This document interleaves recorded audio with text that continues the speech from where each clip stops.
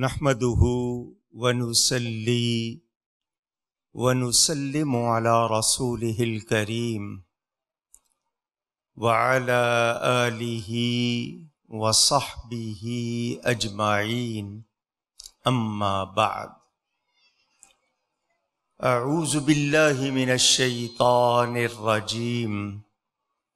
بسم الله الرحمن الرحيم. سبحان الذي أسرى بعبده ليلا.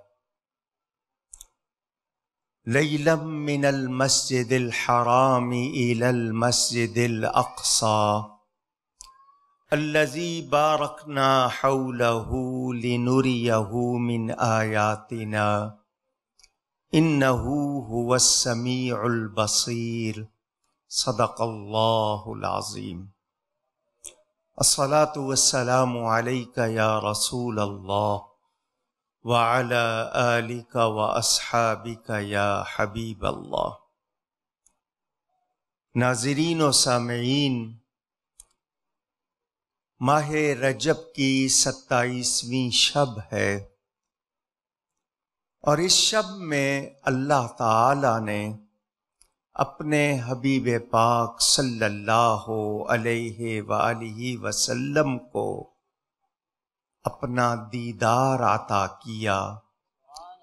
ہمارے نبی پاک صلی اللہ علیہ وسلم کو معراج کروائی۔ کونین میں، کائنات میں نبی کریم صلی اللہ علیہ وسلم خلقت کے لحاظ سے پہلی ہستی ہیں۔ انہوں نے اللہ تعالی کے لیے توازو بہت زیادہ کی۔ اللہ نے ان کو بلند بھی سب سے زیادہ کیا۔ وہ سید المتوادعین بھی ہیں۔ اور ارشاد ہے، من توادع للہ رفعہ اللہ جو اللہ کے لیے توازو کرتا ہے، اللہ اس کو بلند کرتا ہے۔ نبی پاک کب سے توازو کر رہے ہیں؟ جب سے ہیں۔ اور وہ کب سے ہیں؟ یہ کائنات نہیں تھی۔ اللہ نے اپنے ذاتی نور سے ان کے نور کو بنایا۔ وہ جب سے اللہ کی توازو کر رہے ہیں، اللہ تعالی نے ان کو بلندی عطا کی، وہ وہاں تشریف لے گئے، جہاں، وہاں، کہاں کے لفظ ہی ختم ہو گئے۔ نبی کریم صلی اللہ علیہ وسلم کا یہ سفر معراج، میرے نبی پاک صلی اللہ علیہ وسلم کے معجزات میں سے ایک اہم اور خاص معجزہ ہے۔ قرآن کریم میں اس کا کئی جگہ بیان ہے، لیکن سورہ بنی اسرائیل، جس کا دوسرا نام الاسرا ہے، اس کی پہلی آیت، سبحان الزی اسرا بعبدی ہی پاکی ہے اس کو، پاک ہے وہ ذات جس نے سیر کرائی اپنے بندے کو۔ لیلن راتوں رات لیلن پہ تنوین ہے جس کو انگلش میں نونیشن کہتے ہیں، یہ اشارہ کر رہی ہے کہ یہ پوری رات کا واقعہ نہیں، بلکہ رات کے تھوڑے سے حصے کا واقعہ ہے۔ کہاں سے کہاں تک؟ من المسجد الحرام الى المسجد الاقصى مسجد حرام سے مسجد اقصا تک یا مسجد اقصا کی طرف؟ کون سی مسجد اقصا الزی بارکنا حولہ جس کے گردا گرد ہم نے برکتیں رکھی ہیں؟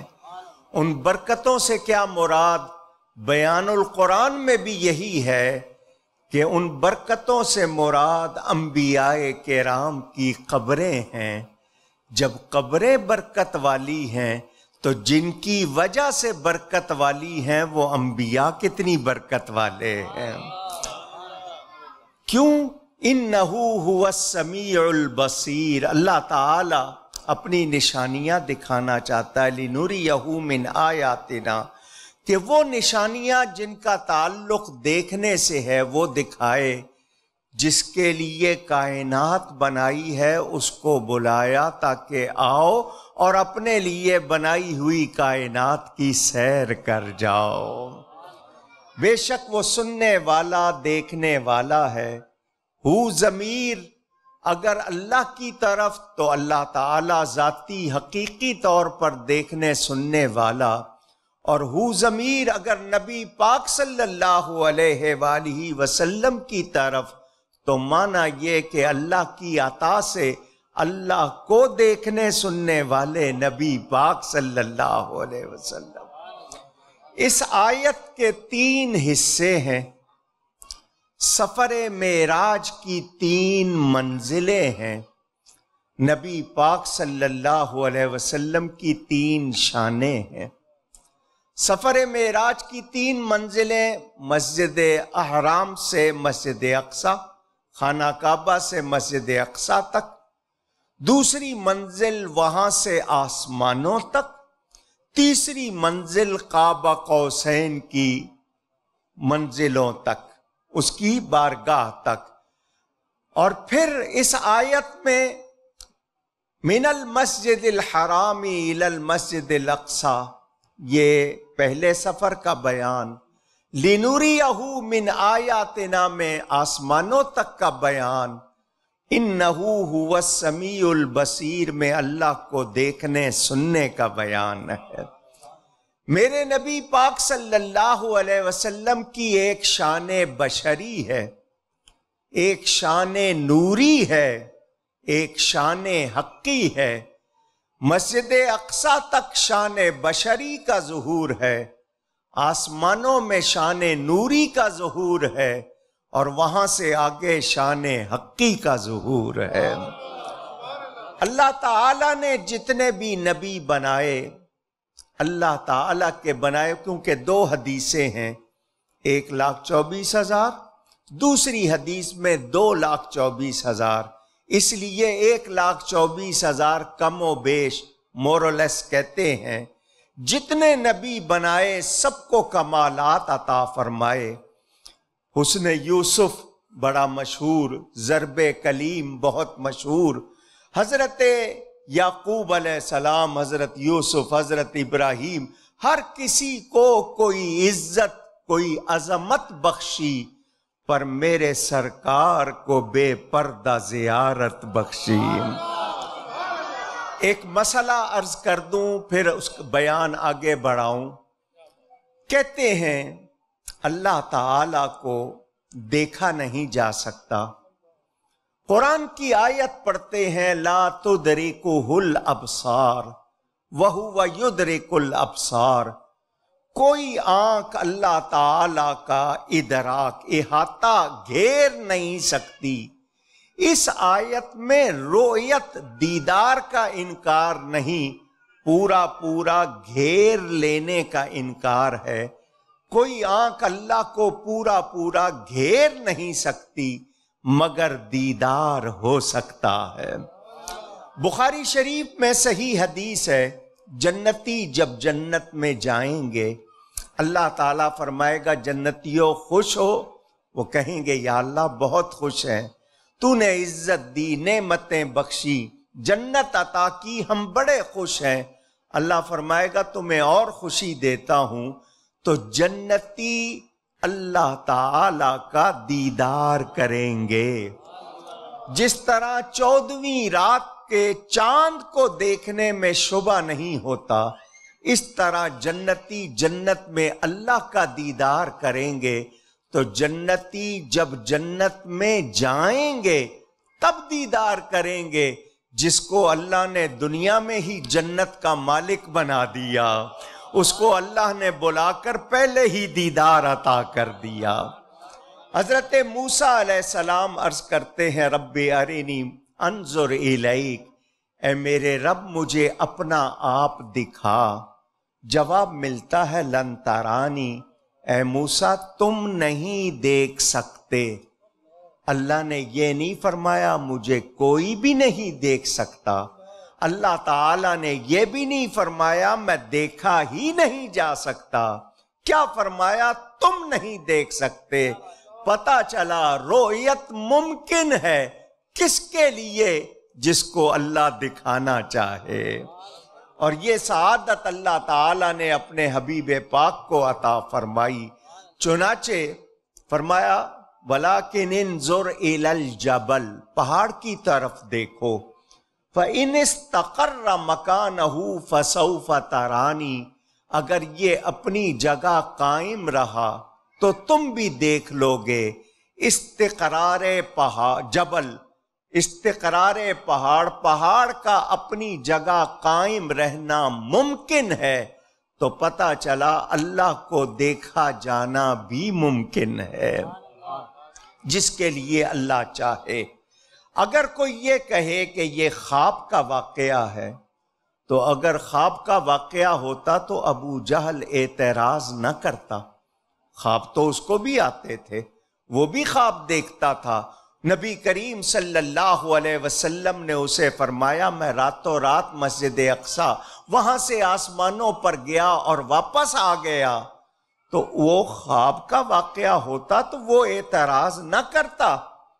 اس نے اس بات کو معلوم تھا اس کو کہ انہوں نے کبھی وہاں تک کا سفر نہیں کیا۔ ایک مہینہ جانے میں لگتا ہے، ایک مہینہ پیدل سفر کریں تو آنے میں لگتا ہے۔ اور یہ کہتے ہیں راتوں رات چلے گئے۔ تو کیا مطلب؟ یہ منامی نہیں ہے میراج یہ جسمانی ہے۔ اور بے عبدی ہی فرمایا، بے نبی ہی نہیں فرمایا، بے حبیب ہی نہیں فرمایا، بے عبدی ہی فرمایا۔ یہ سرکار کی ابدیت کا کمال ہے۔ اللہ تعالی نے اپنے خاص بندے کو یہ شرف عطا فرمایا۔ پتا چلا وہ بشر ضرور ہیں، وہ عبد ضرور ہیں، مگر فرق ہے۔ علامہ اقبال کہتے ہیں، عبد دیگر عبد ہو چیزیں دیگر۔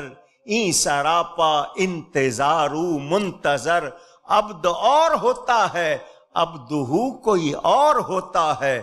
عبد اس انتظار میں ہے کہ رب راضی ہو جائے اور ابدہو کی یہ شان ہے، رب چاہتا ہے میرا یہ بندہ راضی ہو جائے۔ نبی کریم صلی اللہ علیہ وسلم کی معراج کے حوالے سے میں بہت زیادہ پھیلا نہیں سکتا، بہت سی دلیلیں موجود ہیں۔ اللہ تعالی لے گیا۔ یہ نہیں فرمایا کہ یہ خود آئے۔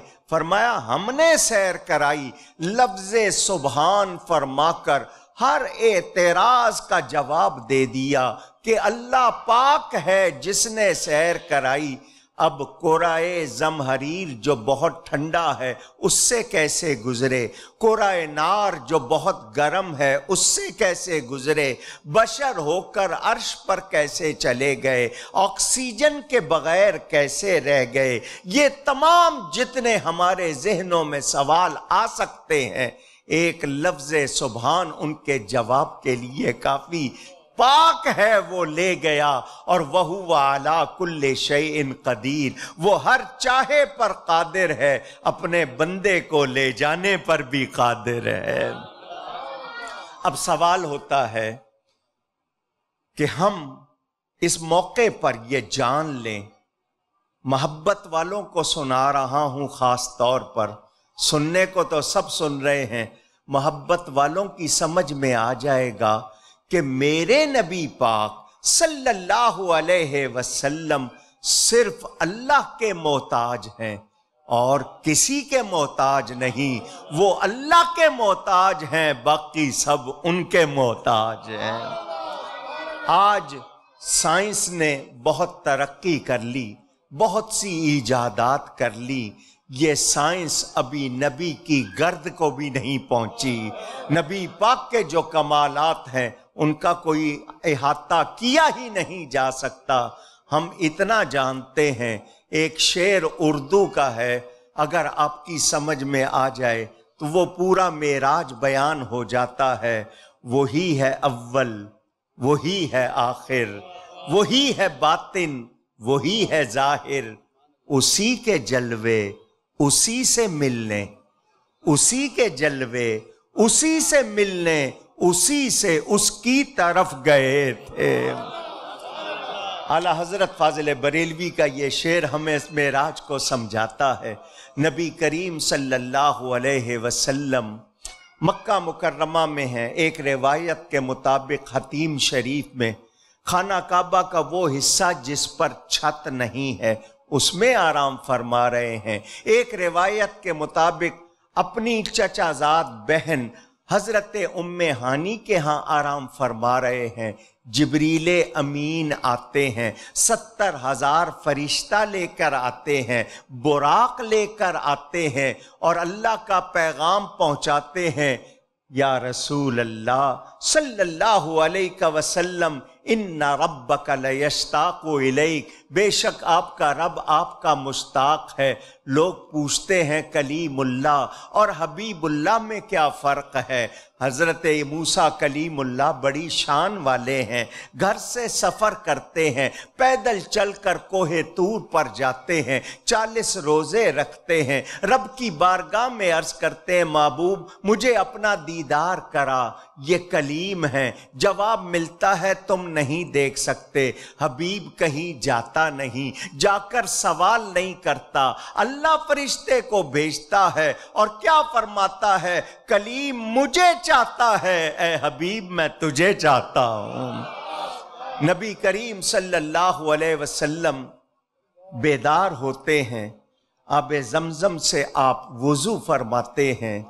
جنتی جوڑا پیش کیا جاتا ہے، زیب تن کرتے ہیں۔ شق صدر ہوتا ہے، سینہ مبارک چاک کیا جاتا ہے۔ دل باہر نکالا جاتا ہے، اس کو بھی چیرا جاتا ہے۔ سرکار کی حیات میں فرق نہیں آتا۔ آج ہارٹ فیل ہو جائے، بندہ ختم ہو جاتا ہے۔ یہاں دل باہر نکلا ہوا، اس کو بھی چیرا ہوا۔ حیات میں فرق نہیں آیا۔ تو سبز گنبد کا پردہ آ گیا۔ تو حیات میں کون سا فرق آیا ہے؟ وہ آج بھی اپنی حقیقی اعلی حیات کے ساتھ زندہ ہیں براق پیش کیا جاتا ہے، یہ ایک نورانی طیارہ۔ چالیس براق جنت میں موجود، ان میں سے ایک لایا گیا۔ اس کا چہرہ انسانوں جیسا، جسم خچر جیسا، دو پر ہوتے ہیں۔ حد نگاہ پر اس کی اتنی رفتار کہ جہاں اس کی نگاہ کی حد، وہاں اس کا پہلا قدم ہوتا ہے۔ نبی کریم اس پر سوار ہوتے ہیں۔ فرشتے ارد گرد براتی بن جاتے ہیں۔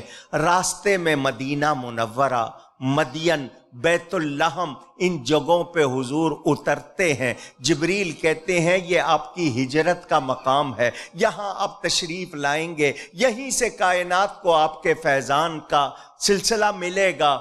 وہاں حضور اترتے ہیں، دو رکت ادا کرتے ہیں۔ حضرت شعیب علیہ السلام کا مقام مدین آتا ہے۔ وہاں اترتے ہیں، دو رکت ادا فرماتے ہیں۔ بیت الحم سیدنا عیسیٰ علیہ السلام کا جو ولادت گاہ وہاں اترتے ہیں تو پتا چلا اللہ والوں کے مقامات پر جانا، تحیت الزیارہ دو رکت ادا کرنا یہ میرے نبی کی سنت ہے۔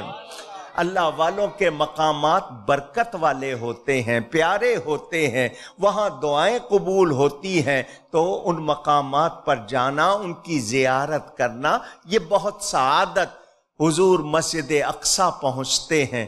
ایک لاکھ چوبیس ہزار کم و بیش سارے انبیاء وہاں موجود۔ کیا ان کو ٹیلی گرام کیا گیا تھا؟ واٹس ایپ بھیجا گیا تھا؟ کوئی ان کو پوسٹر بھیجے گئے تھے؟ کوئی اناؤنسمنٹ ہوئی تھی؟ سب وہاں موجود ہیں۔ روحانی سلسلوں کے بارے میں ہماری عقلیں کام نہیں کر سکتی۔ یہ اللہ تعالی کے نبی ہیں، سب وہاں موجود ہیں۔ کیوں؟ اس کا استقبال کرنے آئے ہیں جس کی برکت سے وجود ملا ہے۔ ساری نعمتیں ملی ہیں۔ مسلح وہاں پر موجود ہیں، صفیں بن گئیں۔ حضرت آدم صفی اللہ حضرت نوح نجی اللہ حضرت ابراہیم خلیل اللہ حضرت اسماعیل زبیح اللہ حضرت یوسف صدیق اللہ حضرت موسا کلیم اللہ حضرت عیسیٰ روح اللہ موجود، مگر امامت کا مسلح خالی جبریل امین میرے نبی کا ہاتھ پکڑ کر آگے کرتے ہیں، امام الانبیاء آپ ہیں۔